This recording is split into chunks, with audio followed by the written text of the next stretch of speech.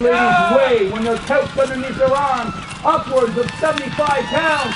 Oh! A solid strike by the American! Oh! sir, sir, Sir Rodney, are you okay? I'm fine. He's fine, my love, the time! Back to the man down under.